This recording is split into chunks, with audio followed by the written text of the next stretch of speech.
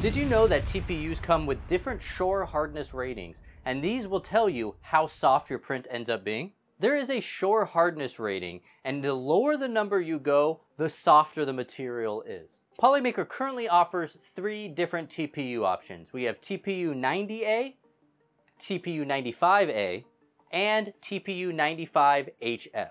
We already covered TPU 95HF in a previous video, but the HF stands for high flow, so this is meant to print at faster speeds. But generally speaking, the softer the material, the slower you're going to have to print. If you've ever tried to print a shore hardness of something like 80A, then you know that can be very difficult to print even at speeds as slow as 30 millimeters per second.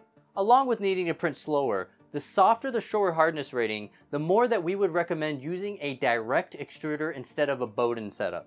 Very soft material has a lot of difficulty traveling long distances from your extruder to your hot end, and you're likely going to end up with issues if you try to print a soft TPU with a Bowden extruder. So you can see here's our TPU 90, and it is extremely soft. It would be amazing for something like a phone case if you want it super soft. But keep in mind, the thicker and more dense you print the part, the less flexible it will be. Here are some shoes printed in that TPU 90, and you can see, even though it's soft, it still requires a little bit of effort as compared to the filament on the strand. For TPU 90, we highly suggest printing slower around 50 millimeters per second and using a direct extruder. Here is TPU 95. It's kind of hard to show on camera, but I can definitely feel it is not quite as soft as the TPU 90. And this can print a bit faster than TPU 90. You might be able to print it on a Bowden extruder, but you're gonna have to print very slow. And then our TPU 95 high flow. Again, it's gonna look very similar to you on camera, but it's actually a little bit stiffer than the TPU 95.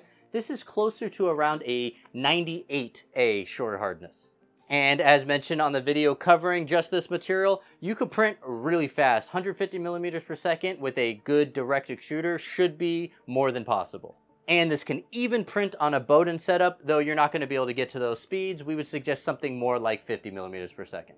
But there you go. Did you know that TPU comes with different shore hardness ratings? The more you know.